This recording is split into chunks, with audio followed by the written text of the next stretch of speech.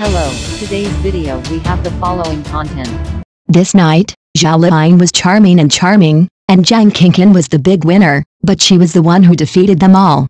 The most lively topic this year is the Oscar award ceremony.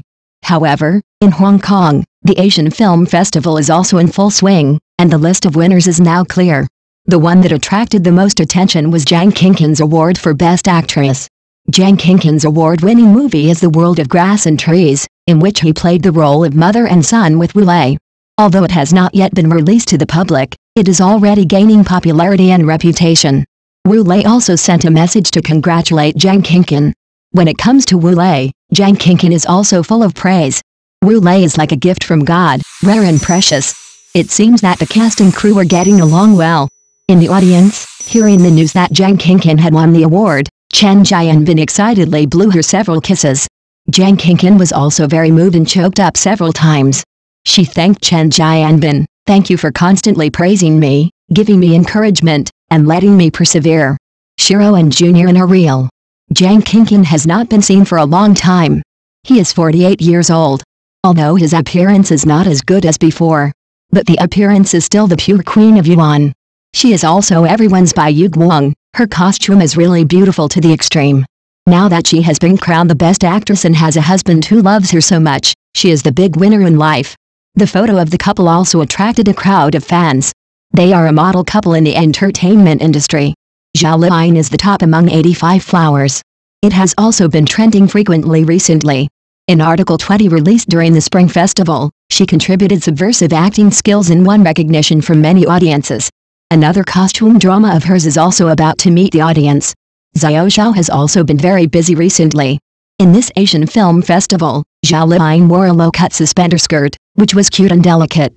The curly hair is pulled lazily behind her back, giving her a very relaxed beauty. This face of hers does not look old at all. Of course, she is not old either and is in her prime. After signing, she greeted the audience cordially.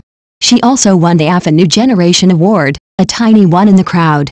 Zhao Liying also proposed the idea of cooperating with Zhang Yimou again. It seems that Zhang Yimou is also very satisfied with her. Ayunga's beige suit has a bit of ethnic minority temperament, and is gentle and elegant. R.S., this black suspender skirt is very eye-catching. He looks very white. Especially when you smile, you have a lovely smile and it feels very eye-catching. Liang Luoshi's white gauze skirt and airy bangs are very eye-catching. Carina Lau and Tony Leung appeared together. Carina Lau's black sequin skirt made her whole body look exquisite. Tony Leung is as low-key and humble as ever, and he is a bit socially afraid in front of the camera. The interaction between movie kings and movie queens filled the scene with a sense of high-end. However, the one who takes the spotlight this time is Mr. Fan, who has been silent for six years. Although banned, he has occasionally appeared abroad in recent years.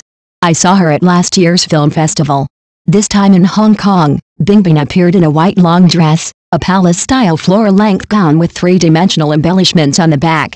Her style remains the same, and under the spotlight, her skin is fair and firm. Retiring from the industry for six years is not a problem. She was born for the red carpet.